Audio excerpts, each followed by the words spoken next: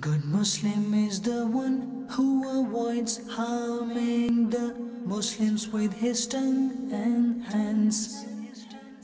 Good Muslim is the one who avoids harming the Muslims with his tongue and hands. Good Muslim is the one who avoids harming the Muslims with his tongue and hands.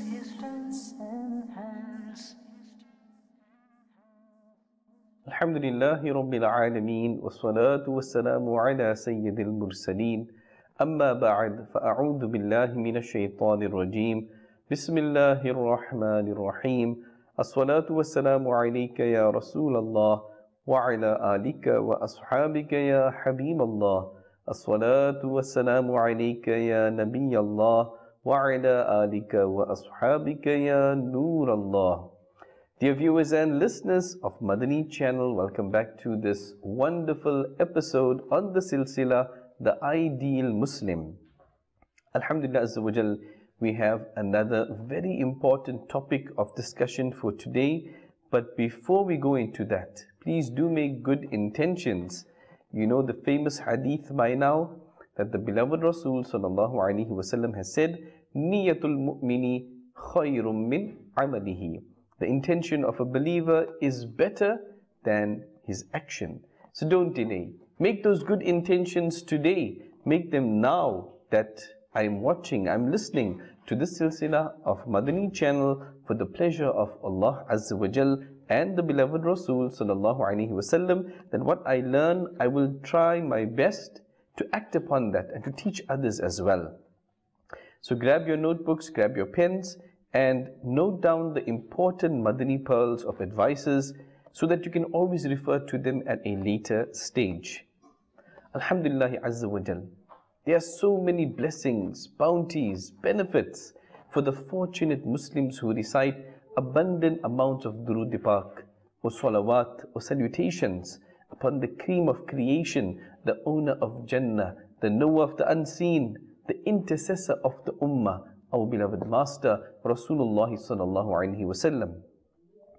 It is mentioned in a beautiful narration that the person who recites durood upon the Prophet sallallahu alaihi wasallam just one time, just once, Allah Azza wa Jal blesses that person with ten rewards, forgives ten sins, and elevates that person's status by ten times. Allahu Akbar. Can you imagine? Just the recitation of once durood pak so much of benefit.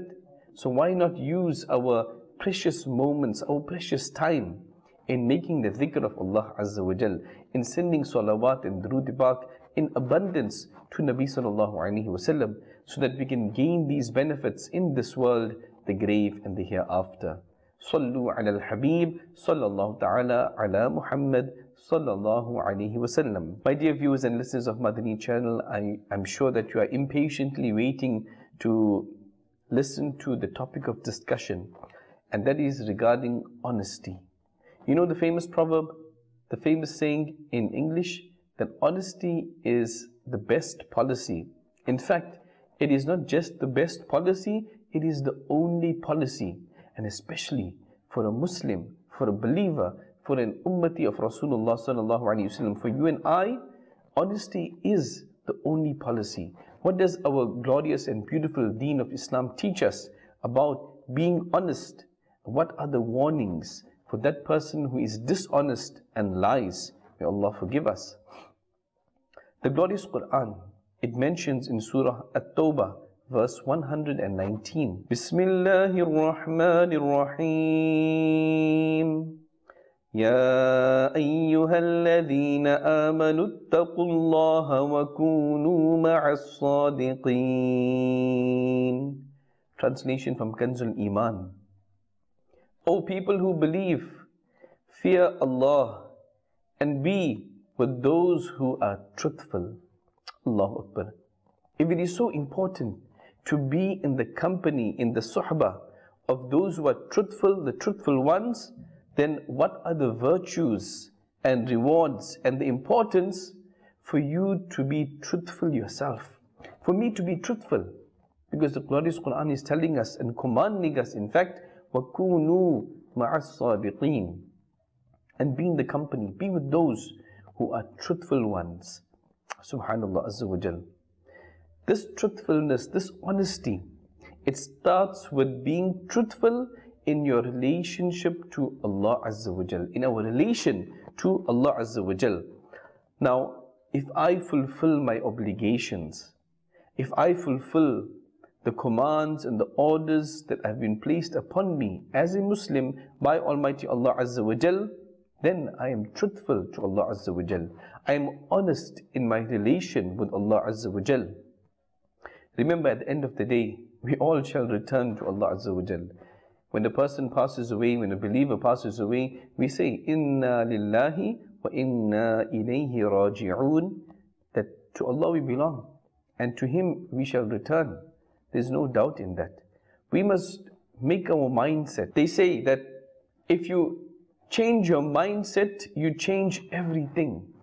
Don't just look at our current situation that perhaps wherever you are out in the, in the world, maybe you're going through difficulties, calamities, sicknesses, ailments, illnesses, financial, physical, or spiritual problems. Keep one thing in mind that no matter how big your problem is, it is temporary. Like our lives, our lives are temporary, so too our problems, our difficulties in this worldly life is temporary.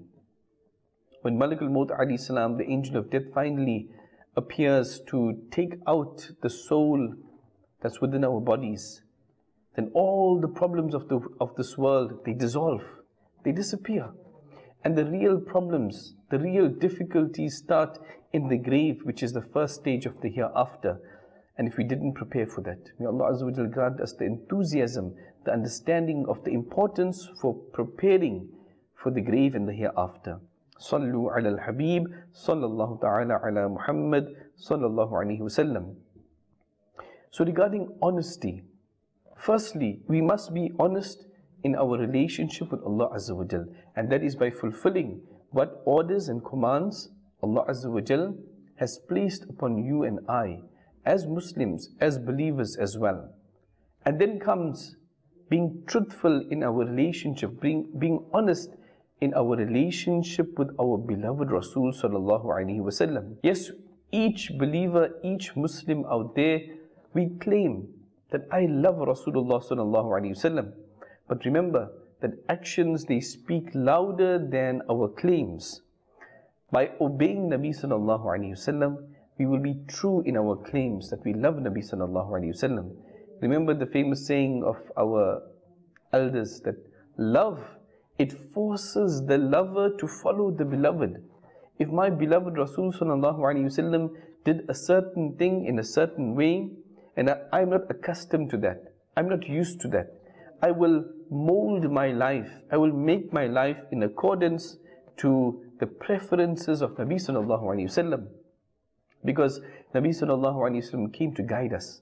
The glorious Quran, which contains many scientific facts, many historical facts, is certainly not a book of science. It's not a history book. It is a book of hidayah, a book of guidance. So we have the guidelines there.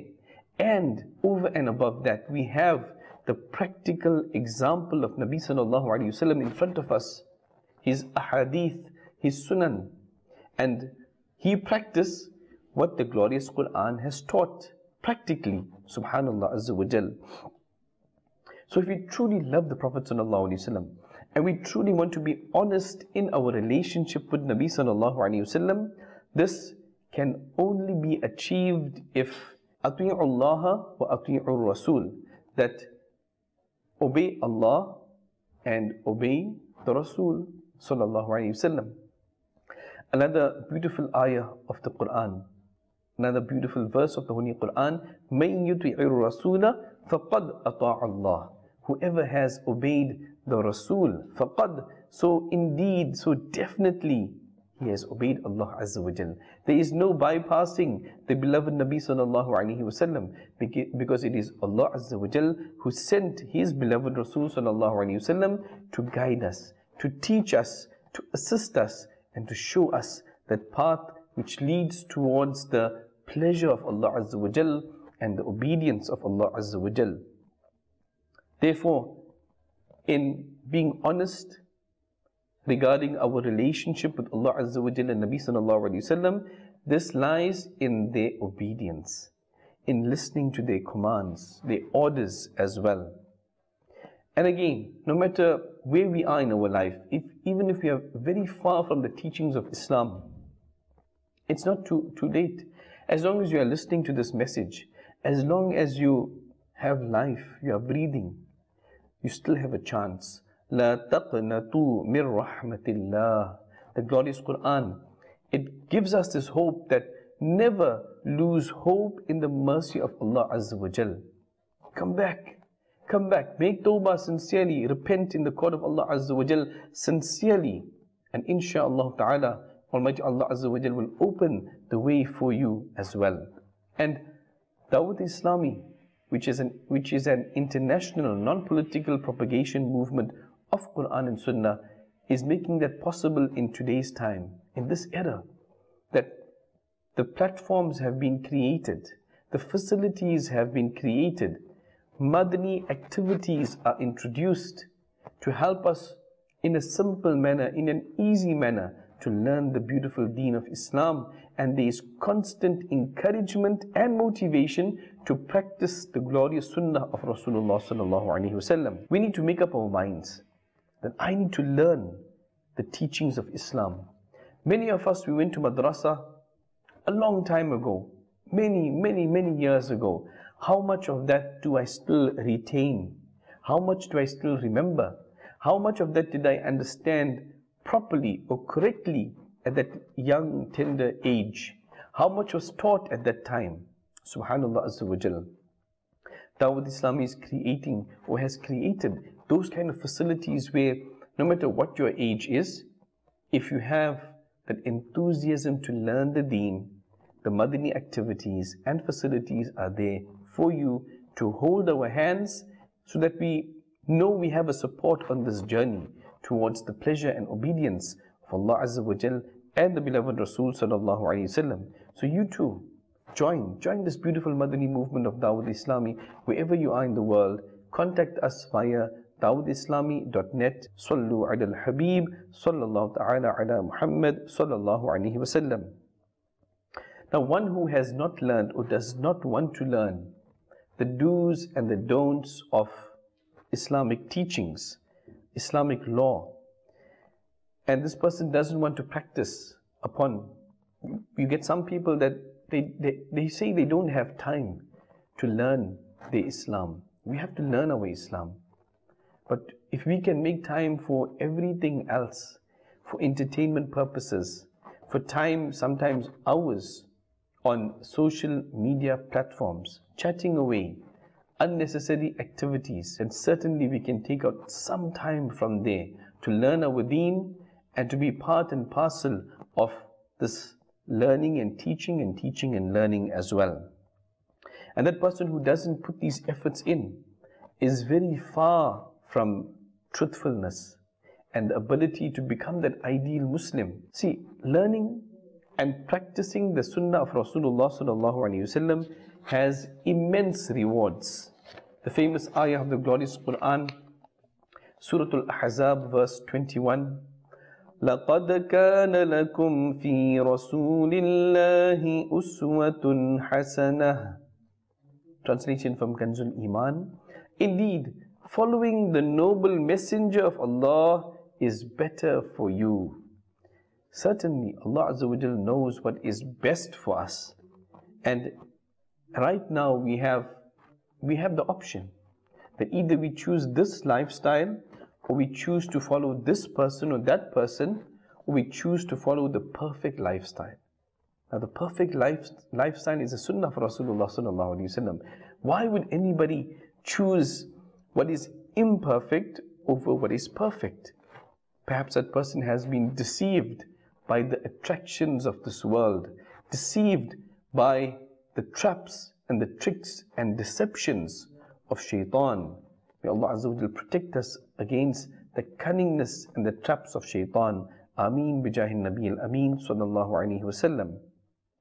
If you and I learn about the details of Nabi Sallallahu Alaihi Wasallam's life, we can achieve this honesty in our own lives. We can achieve the honesty in our relationship to Allah Azza wa Jal, our relationship to Rasulullah Sallallahu Alaihi Wasallam, and Nabi Sallallahu Alaihi Wasallam's blessed life.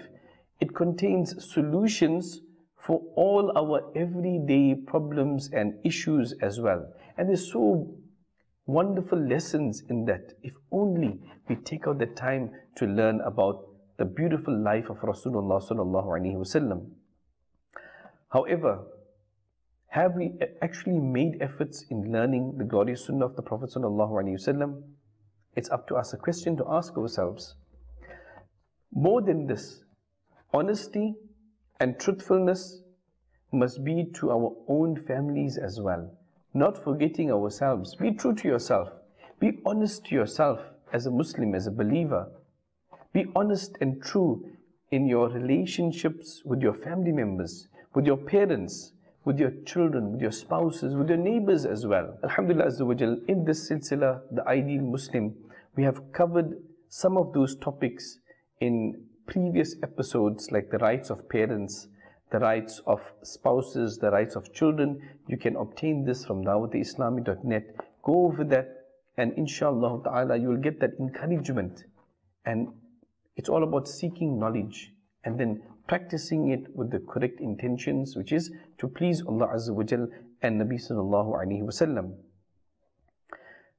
Perhaps you out there are a parent or would be parent or in the future you would become a parent. We must be truthful to our children. This is so important because children, especially when they are little, they emulate and they imitate their parents. We must not have this mindset that do as I say, don't do as I do. Because tomorrow, maybe in front of us, our kids will listen and perhaps they'll do it. But tomorrow, when we are not there, when our eyes close, or when we are gone to work, Allahu Akbar, do you really think they will do those things? They will feel that no, uh, my mother, my father isn't around, so let me not, let me skip the salah, or let me skip madrasa. Why? Because at that time, we had, and we, we gave them this mentality that do as I say, not do as I do. Yes, if we are doing good, and we are saying good, then it's okay. Then you inform them. You make their minds in a positive manner with wisdom that do as I say and do as I do. Because kids, who else will they copy? They are mostly with the mother or the father. They will emulate, they will copy, they'll imitate their parents.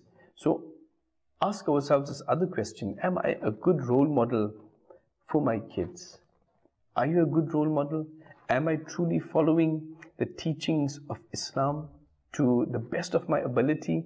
Am I truly following and accordance in accordance with the lifestyle of the Sahaba Ikram, Ridwan, the companions of the Prophet Wasallam, the Ahlul Bayt, the purified household of Rasulullah Wasallam? Am I following in the footsteps of the awliya Allah, the pious predecessors, the saints and the friends of Allah Azza wa Jal? If not, when? Then when? When our eyes, when our, eyes close, it will be too late, my dear viewers and listeners of Madani channel. Now is the time.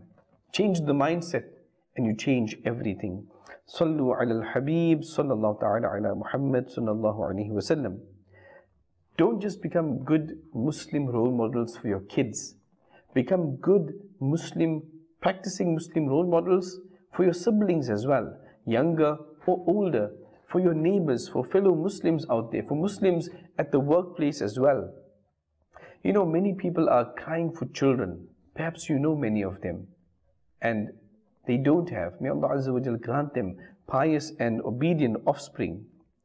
And others have children but they complain. My child does not listen. My child is disobedient or rebellious. We need to ask ourselves, perhaps we are doing something wrong. The scholars have mentioned that if we disobey Allah Azza wa Jal, then Allah Azza wa Jal will make our children disobey us. Am I obedient or disobedient to Allah subhanahu a question to ask ourselves. Look at yourself in front of the mirror and ask yourself these questions. And if it's in the negative, make up your mind. I need to change my lifestyle, the way I think, the way I behave, what I say and how I say it. This must be in accordance with the teachings of Islam. And then, inshallah ta'ala, honesty will filter through into our lives and through us, that honesty and truthfulness will filter towards our children, our kids as well, and fellow Muslims. Sallallahu alayhi wasallam. Regarding the, the tragic consequences of speaking lies, listen to these hadith and ponder. It is mentioned that speaking a lie is the greatest treachery, and lying is the opposite to Iman. Destruction is for the one who speaks lies to make people laugh. Allahu Akbar. The comedians out there who cook up stories should think about this. We just lie to our kids or to others just to make them laugh. What does the narration say? That destruction is for this person. May Allah protect us. Furthermore, whoever lies in order to make people laugh will fall into Jahannam, into the hellfire at a distance more than the distance between the sky and the earth. Allahu Akbar. Another narration mentions a person's face turns dark because of lying, and saying a false thing is a major sin. Allahu Akbar. On the day of judgment, the liars, they will be included amongst the most hated people in the sight of Allah Azza wa Jal. How do I want to be included? Or with whom do I want to be included on the day of judgment? We all want Jannah, we all want paradise. We all want to be in the company of those who are pious, especially on the day of judgment. So why not be in their company today, now? Alhamdulillah Azza. Dawat Islami has the weekly Sunnah inspired Ijtima for Islamic brothers, for Islamic sisters, separately as well. This is a very good start for us to be in good company. Yes, perhaps we are not good, but we are trying to create that good company where we learn, we listen to the glorious Quran, we listen to Na'at Sharif, the praises of Rasulullah sallallahu alaihi wasallam, we listen to the Sunnah inspired bayan, the discourse, we engage in the dhikrullah, the dua, salatu salam as well.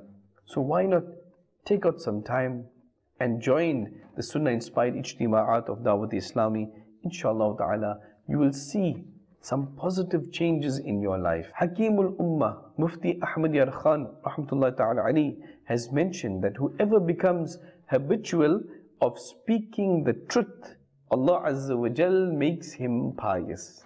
Here is a way. Here is a way of becoming pious, of attaining piety.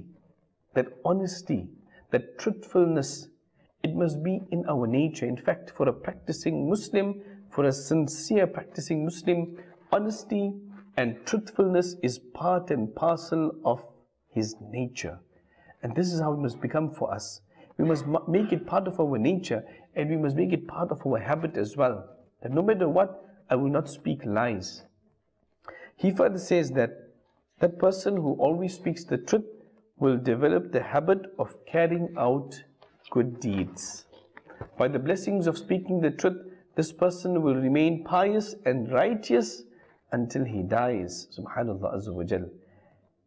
And it's the point here. See, Iman, faith, this is the most prized possession of a believer.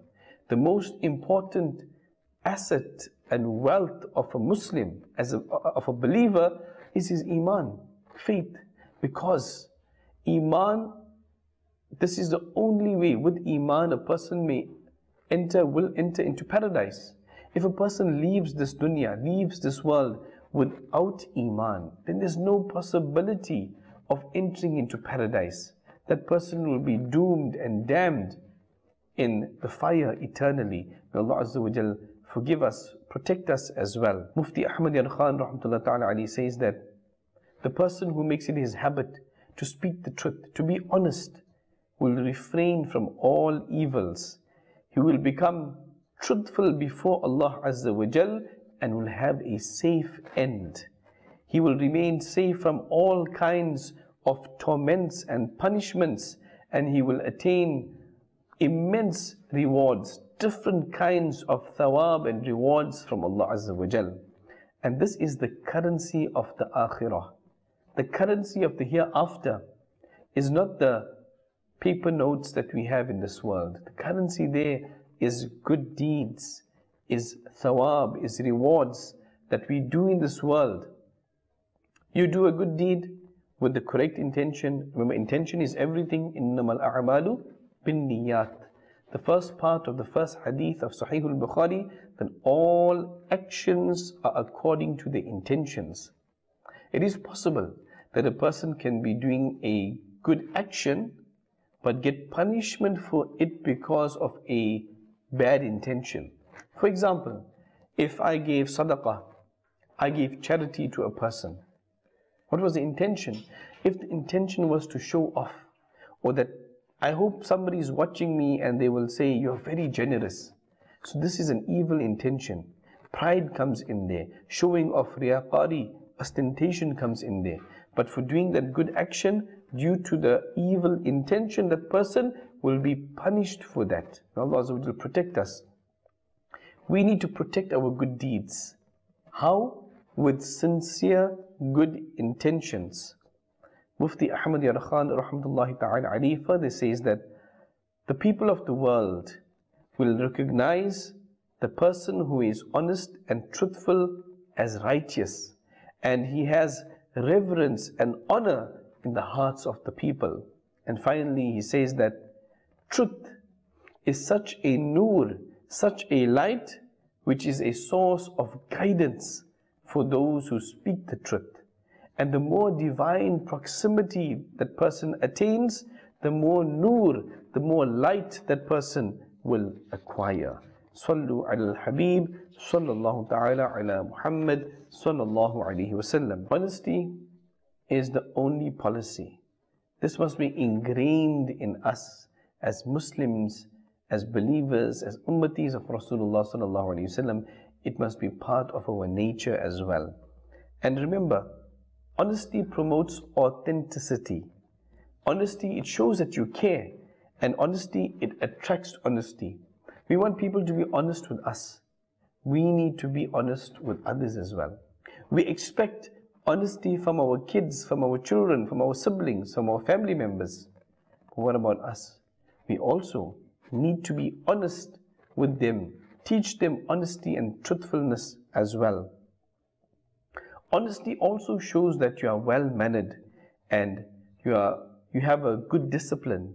Subhanallah Azza wa Jal. That person who is dishonest, that person who is a liar, that person loses his respect, loses his image and trust as well. People don't trust this kind of a person, and the respect of this person is gone. Remember to be truthful to yourself, firstly. Be truthful to Allah Azza wa Jal. Be truthful to Rasulullah Sallallahu Alaihi Wasallam. And as we mentioned, we can only achieve that if we obey them. If we are obedient to Allah Azza wa Jal and the Prophet Sallallahu Alaihi Wasallam, then inshallah we will have this honesty and truthfulness in our relationship with Allah Azza wa Jal and the beloved Rasul Sallallahu Alaihi Wasallam. Be truthful to your family members. Be truthful to your kids, your spouse, your parents, your neighbors, your relatives, whether near or far, neighbors near or far, and fellow Muslims at large. May Allah Azza wa Jal grant us the understanding of knowing the importance of being truthful and honest as well. There are many people out there that don't ponder over these things, many Muslims in particular, regarding honesty. Some are dishonest to their own people, their own family members. Others are dishonest in the workplace, in their jobs. Perhaps exaggerating the, the quality of the goods, of the stock, or perhaps giving wrong prices and hiding the defects of those goods. Honesty is so important. Just for a few extra in cash or in wealth, people they sacrifice honesty.